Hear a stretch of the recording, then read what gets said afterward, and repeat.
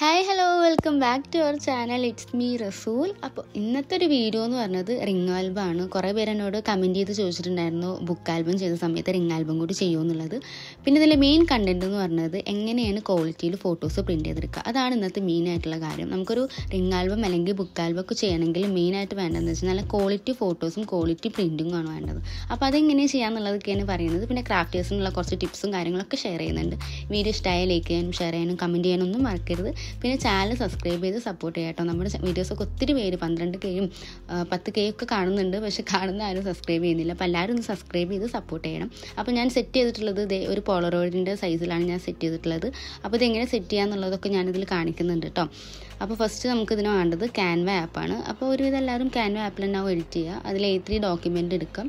ശേഷം A three ഡോക്യുമെന്റിൽ പോയിട്ട് പോളറോയിഡ് ഫ്രെയിം എന്ന് അടിച്ച് കഴിഞ്ഞാൽ നമുക്ക് ഡിഫറെന്റ് ടൈപ്സ് ഓഫ് പോളറോയിന്റെ കാണാൻ പറ്റും.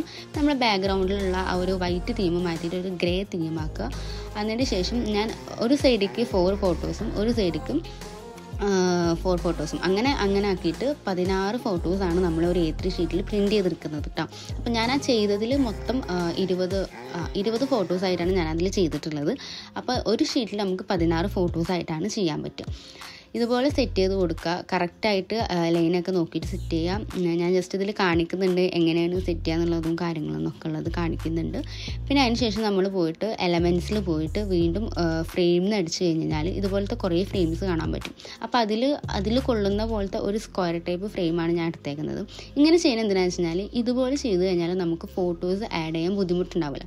അല്ലാന്നുണ്ടെങ്കിൽ നമ്മൾ ഫോട്ടോ കട്ട് ചെയ്തിട്ട് ഈ ഒരു സൈസിലേക്കായിട്ടൊക്കെ ആഡ് ചെയ്യേണ്ടി വരും. അത് കുറച്ച് ബുദ്ധിമുട്ടുള്ള കാര്യമാണ്. അതുകൊണ്ടാണ് ഇങ്ങനെ ചെയ്യുന്നത്. ഇങ്ങനെ ചെയ്യുമ്പോൾ നമ്മൾ ജസ്റ്റ് ഫോട്ടോസ് അതിന്റെ മുകളിൽ ഡ്രാഗ് ചെയ്ത് വെച്ച് കഴിഞ്ഞാൽ തന്നെ അതിൽ ഫിക്സ് ആവും. പിന്നെ നമുക്ക് ചെറുതായിട്ട് അങ്ങോട്ടും ഇങ്ങോട്ടും പേഷ്യൻസ് ഒക്കെ മാറ്റാൻ മാത്രമേ ഉണ്ടാവുള്ളൂ. ഓവറായിട്ടുള്ള വേറെ ഒരു എഡിറ്റിങ്ങിന്റെ കാര്യം വരുന്നില്ല. പിന്നെ ഭയങ്കര സിമ്പിളാണ് എന്താണ്. നമുക്ക് ഫോട്ടോസ് എന്താ പറയുക കട്ട് ചെയ്യേണ്ട ആവശ്യമോ അങ്ങനെയൊന്നും വരുന്നില്ല. അപ്പോൾ ഞാനിത് കാണിക്കുന്നുണ്ട്. അപ്പോൾ ഫോട്ടോസ് ക്ലാരിറ്റി ഉണ്ടെങ്കിൽ അപ്ലോഡ്സിൽ തന്നെ നമ്മൾ ഫോട്ടോസ് ഇടാൻ വേണ്ടിയിട്ട് ശ്രദ്ധിക്കണം. പക്ഷേ ഇതേ ഇതുപോലെ ഇങ്ങനെ വെച്ച് കൊടുത്താൽ തന്നെ നോർമലായിട്ട് കറക്റ്റായിട്ട് വരും. പിന്നെ ഇതുപോലത്തെ ചെറിയ എന്തെങ്കിലുമൊക്കെ അങ്ങോട്ടും ഇങ്ങോട്ടും കയറിയിട്ടുണ്ടെന്നുണ്ടെങ്കിൽ നമ്മളതിൽ ഡബിൾ ടാപ്പ് ഡബിൾ ടാപ്പ് ചെയ്ത് കഴിഞ്ഞാൽ നമുക്കത് അങ്ങോട്ടും ഇങ്ങോട്ടും മൂവ് ചെയ്യാൻ പറ്റും. അപ്പോൾ നമുക്ക് വേണ്ട സൈസിൽ കറക്റ്റാക്കിയിട്ട് എടുക്കാൻ പറ്റും. അപ്പോൾ ഇങ്ങനെയാണ് ഞാനിതിൽ സെറ്റ് ചെയ്തിട്ടുള്ളത്. പിന്നെ ലാസ്റ്റ് നമ്മൾ ഫസ്റ്റ് ഫോട്ടോ അതായത് ഫസ്റ്റത്തെ ഫോട്ടോ ആയിട്ട് വെക്കേണ്ട ഫോട്ടോ മാത്രം ഈ ഒരു പോളറോഡ് സൈസ് അല്ലാതെ ഫുൾ സൈസിൽ വെക്കാൻ വേണ്ടിയിട്ട് ശ്രദ്ധിക്കുക. അപ്പോൾ ഞാനിതിന്റെ ബാക്ക്ഗ്രൗണ്ട് തീം ഹാഷ് കളറായിരുന്നു അത് ഞാൻ മാറ്റിയിട്ട് വൈറ്റിൽ തന്നെ ആക്കി കൊടുത്തിട്ടുണ്ട്. അപ്പോൾ നമുക്ക് എന്തെങ്കിലും ചെറുതായിട്ട് അങ്ങോട്ടും ഇങ്ങോട്ടും ഒക്കെ അഡ്ജസ്റ്റ് ചെയ്യണമെന്നുണ്ടെങ്കിൽ അങ്ങനെ ചെയ്യാൻ വേണ്ടിയിട്ട് പറ്റും. അപ്പോൾ അതിന് വേണ്ടിയിട്ടാണ് ഞാൻ അതിൽ തന്നെ കൊടുത്തത്. പിന്നെ ഇമ്പോർട്ടന്റ് ആയിട്ടുള്ള കാര്യമാണ് ഇപ്പോൾ ഞാൻ ചെയ്തത് ഡൗൺലോഡ് ചെയ്യുന്ന പരിപാടി. ഡൗൺലോഡ് ചെയ്യുന്നത് പി ഡി എഫ് പ്രിന്റിലാണ് ഡൗൺലോഡ് ചെയ്തിട്ടുള്ളത് ഡൗൺലോഡ് എടുക്കുക. അതിൽ പ്രിന്റ് എന്നുള്ളത് പി ഡി എഫ് പ്രിന്റ് എന്നുള്ളത് ഡൗൺലോഡ് ചെയ്തിട്ട് അത് ഷെയർ ചെയ്ത് കൊടുക്കുക. അപ്പോൾ ഞാൻ എന്റെ തന്നെ വാട്സപ്പിലോട്ട് ഇങ്ങനെ ഷെയർ ചെയ്ത് കൊടുക്കുകയാണ് ചെയ്തത് അല്ലെങ്കിൽ നിങ്ങൾക്ക് നേരെ ഷോപ്പിലേക്ക് ഷെയർ ചെയ്ത് കൊടുക്കാം. അപ്പോൾ ഇങ്ങനെയാണ് ഞാൻ ചെയ്തിട്ടുള്ളത്. ഇങ്ങനെ ചെയ്തിട്ടാണ് ഈ ഒരു പ്രിന്റ് ഇത്രയും ക്വാളിറ്റിയിൽ കിട്ടിയിട്ടുള്ളത്. പിന്നെ നമ്മൾ പ്രിന്റ് എടുക്കുന്ന എ ത്രീ ഷീറ്റ് എത്ര ജി എസ് എം വേണമെന്ന് അവർ ചോദിക്കും ചില ഷോപ്പിലേ ചോദിക്കുള്ളൂ. അല്ലെങ്കിൽ നമ്മൾ അങ്ങോട്ട് പറയണം എത്ര ജി എസ് എം വേണമെന്ന്.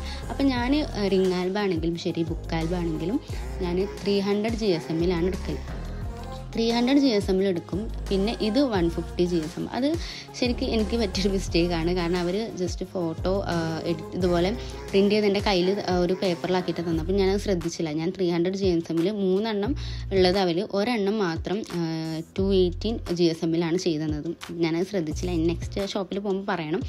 അപ്പോൾ അങ്ങനെ ഒരു പ്രശ്നം വന്നിട്ടുണ്ട്. അപ്പോൾ അതിന്റെ ഒരു ക്വാളിറ്റി ഒരു ഒരു ചെറിയൊരു വേരിയേഷൻ ഉണ്ടാവുള്ളൂ. എന്നിരുന്നാലും ഒരു പേപ്പറിന്റെ കട്ടി ഒരു ലേശം കൂടി കുറവുള്ള അതായത് നമുക്കിപ്പോൾ സേവ് ആണെങ്കിൽ അല്ലെങ്കിൽ ഫ്രെയിമിലൊക്കെ വെക്കാനാണെങ്കിൽ ഈ ഒരു eighty to eighty G S എമ്മിന്റെ ഒക്കെ ചെയ്യാം കേട്ടോ. ബുക്ക് ആൽബത്തിനും റിംഗ് ആൽബത്തിനും അങ്ങനെ പോളറോയിഡ്സ് അതിനൊക്കെ നമുക്ക് ത്രീ ഹൺഡ്രഡ് ജി എസ് എമ്മിൽ ചെയ്യുന്നതാണ് ഏറ്റവും ബെറ്റർ എന്നാൽ മാത്രമേ നമുക്ക് നല്ല കട്ടിയുള്ള ഫോട്ടോസായിട്ട് തോന്നുള്ളൂ. അല്ലാന്നുണ്ടെങ്കിൽ ഈ ഫോട്ടോ വരയ്ക്കുന്ന ടൈമിൽ ഭയങ്കര കട്ടി കുറവ് ഫീൽ ചെയ്യാൻ വേണ്ടിയിട്ട് തോന്നും. അത് നമ്മളെ കസ്റ്റമേഴ്സിന് ഒരു നെഗറ്റീവായിട്ട് ഫീൽ ചെയ്യാൻ ചാൻസ് ഉണ്ട്. അപ്പോൾ അതുകൊണ്ടാണ് ഇത്രയും കട്ടിയുള്ളതിൽ നമ്മൾ പ്രിന്റ് എടുക്കുന്നത്. പിന്നെ ഞാൻ പ്രിന്റ് എടുത്ത ഫോട്ടോ സേവ് ചെയ്തതിന്റെ ഒരു ടെക്നിക്ക് ഞാൻ പറഞ്ഞിട്ടുണ്ട്. പി ഡി എഫ് പ്രിന്റിൽ സേവ് ചെയ്യാൻ വേണ്ടിയിട്ട്. അപ്പോൾ ഇത്രേ ഉള്ളൂ ഇതേ നമ്മുടെ ഫോട്ടോസൊക്കെ ഞാൻ കട്ട് ചെയ്തെടുത്തിട്ടുണ്ട്. അപ്പോൾ ഞാൻ നേരത്തെ പറഞ്ഞ ഫോട്ടോയുടെ ആ ഒരു മിസ്റ്റേക്ക് കണ്ടില്ല? അതൊരു ടു എയ്റ്റി ജി എസ് എമ്മിലാണ് അതിന്റെ ഒരു ചെറിയൊരു വേരിയേഷൻ കുറവുണ്ട്. ബാക്കിയുള്ള ഫോട്ടോസ് വെച്ച് നോക്കുമ്പോൾ ഫസ്റ്റ് ഫസ്റ്റത്തെ ഫോട്ടോസ് അത് അതുകൊണ്ട് പിന്നെ വലിയ കുഴപ്പമില്ല എന്ന് ഞാൻ വിചാരിച്ചു. ഈ ഒരു ഫോട്ടോയും ആ ഒരു ഫോട്ടോയും തമ്മിലുള്ള ഒരു ഡിഫറന്റ് ഞാൻ അതിലിങ്ങനെ കാണിക്കുന്നുണ്ട്. അപ്പോൾ ഇത്രയും ക്വാളിറ്റിയിൽ കിട്ടണമെങ്കിൽ ഇങ്ങനെ ചെയ്താൽ മതി. ഇനി ആരും ക്വാളിറ്റിയിൽ പ്രിന്റ് ചെയ്തിട്ട് കിട്ടുന്നില്ല എന്നുള്ള പരാതി പറയണ്ട. ഈ ഒരു മെത്തേഡിൽ ചെയ്ത് കഴിഞ്ഞാൽ എന്തായാലും നിങ്ങൾക്ക് നല്ല ക്വാളിറ്റി പേപ്പറിൽ തന്നെ പ്രിന്റ് ചെയ്ത് കിട്ടും. പിന്നെ പ്രിന്റിന്റെ പ്രൈസ് കുറേ പേര് ചോദിക്കുന്നുണ്ട്. എനിക്ക് ഞാൻ എന്റെ നിയർ ബൈ ഷോപ്പിലാണ് എടുക്കുന്നത് അവിടെ എന്ന് പറഞ്ഞത് പ്രിന്റിനും ചില സ്ഥലങ്ങളിലൊക്കെ നൂറ്റി അറുപത് രൂപയ്ക്ക് എന്റെ നിന്ന് മേടിച്ചിട്ടുണ്ട് കേട്ടോ അത് ഈ ത്രീ ഹൺഡ്രഡ് ജി എസ് എമ്മിൽ ചെയ്യുമ്പം അതെല്ലാം നമ്മൾ ടു എയ്റ്റിയിലൊക്കെയാണ് ചെയ്യുന്നുണ്ടെങ്കിൽ ഒരു അമ്പത് അറുപത് ആ ഒരു റേഞ്ചിലൊക്കെ ആയിരിക്കും ചില ഷോപ്പിൽ വാങ്ങുക. ചില ഷോപ്പിൽ മുപ്പതൊക്കെ വാങ്ങുന്നുണ്ടെന്ന് ചിലവർ എന്നോട് പറഞ്ഞു. മുപ്പത് രൂപക്കൊക്കെ ഏത്ര പ്രിന്റ് കിട്ടുന്നുണ്ടെന്ന് പറഞ്ഞു. പക്ഷേ എനിക്കത് ക്വാളിറ്റി അത്ര ഗുഡായിട്ട് ഫീൽ ചെയ്തില്ല. ഞാനൊന്ന് ഒരു എടുത്തു എടുത്ത് നോക്കി. അപ്പോൾ അതിന്റെ ക്വാളിറ്റി അത്ര ഗുഡായിട്ട് ഫീൽ ചെയ്തില്ല. അപ്പോൾ അതുകൊണ്ടാണ് ഞാൻ കുറച്ചും കൂടി റൈറ്റ് ഉണ്ടെന്നുണ്ടെങ്കിലും നല്ല കട്ടിയുള്ള പേപ്പറിൽ എടുക്കാൻ വേണ്ടിയിട്ട് എല്ലാവരും നോക്കാം കേട്ടോ അപ്പോൾ ഇതേ നമ്മൾ റിംഗ് ആൽബത്തിന് ഇതുപോലെ കട്ട് ചെയ്തെടുത്തതിന് ശേഷം ഞാൻ ഇതുപോലത്തെ പഞ്ച് മെഷീൻ വെച്ചിട്ട് ആദ്യം ഒരു ഡോട്ട് ഇട്ട് കൊടുത്തു. ആ ഒരു ഡോട്ടിന്റെ അളവിൽ തന്നെ എല്ലാ ഫോട്ടോസിനും ഇട്ട് കൊടുക്കുകയാണ് ചെയ്തത് കേട്ടോ അപ്പോൾ ഇതുപോലെ എല്ലാ ഫോട്ടോസിനും ഇട്ട് കൊടുത്തതിന് ശേഷം നമ്മൾ റിങ് യൂസ് ചെയ്യാണ് ചെയ്യുന്നത്. അപ്പോൾ ഞാനത് എല്ലാ ഫോട്ടോസിനും റിങ് മറ്റേ ഹോൾ ഇട്ട് കൊടുത്തിട്ടുണ്ട്.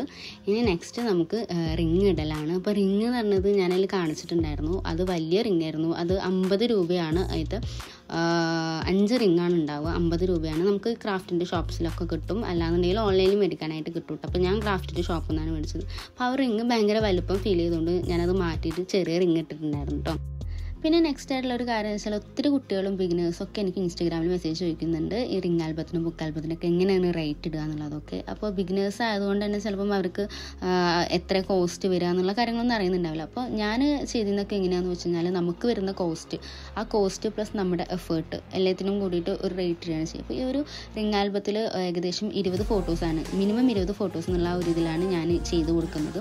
ഇരുപത് ഫോട്ടോസിൽ കുറവില്ല ഞാൻ ചെയ്ത് കൊടുക്കില്ല. കാരണം നമുക്ക് പ്രിന്റ് എടുക്കുമ്പോൾ പിന്നെ അതൊരു നഷ്ടമാണ് അപ്പോൾ അങ്ങനെയൊക്കെ വരുന്നത്. പിന്നെ എന്ന് പറയുമ്പോൾ നമുക്ക് ഈ ഒരു പ്രിന്റ് എടുക്കുന്നത് ഷോപ്പൊക്കെ അടുത്തുള്ളവരുണ്ടാവും ചിലപ്പോൾ ദൂരമുള്ളവരുണ്ടാവും അപ്പോൾ ട്രാവൽ എക്സ്പെൻസ് അങ്ങനത്തെ കാര്യങ്ങളൊക്കെ ഉണ്ടാവും. അപ്പോൾ അതൊക്കെ നോക്കിയിട്ട് നമുക്ക് അഫോർഡ് ചെയ്യാൻ പറ്റുന്ന ഒരു റേറ്റ് കൊടുക്കുക. അപ്പോൾ ഒരു ടു ഹൺഡ്രഡ് ടു ഫിഫ്റ്റി ആ ഒരു റേഞ്ചിലൊക്കെ നിങ്ങൾക്ക് ഈ ഒരു റിംഗ് ആൽബത്തിന് ഇടാം കേട്ടോ അപ്പോൾ ഞാൻ ഈ ഒരു റേഞ്ചിലൊക്കെയാണ് ഇടൽ അപ്പോൾ ഇത്രേ ഉള്ളൂ നമ്മുടെ വീഡിയോ. അപ്പോൾ മാക്സിമം ഞാൻ എല്ലാ കമൻസിനും റിപ്ലൈ കൊടുത്തിട്ടുണ്ട് റിംഗ് ആൽബത്തിന്റെ കേസിൽ ഇനി എന്തെങ്കിലുമൊക്കെ ഡൗട്ട്സ് ഉണ്ടെങ്കിൽ ചോദിക്കാം കേട്ടോ അപ്പോൾ വീഡിയോ ഇഷ്ടമായി ലൈക്ക് ചെയ്യാനും ഷെയർ ചെയ്യാനും കമന്റ് ചെയ്യാനും ഒന്നും മറക്കരുത്. ചാനൽ സബ്സ്ക്രൈബ് ചെയ്ത് സപ്പോർട്ട് ചെയ്യുക. Bye bye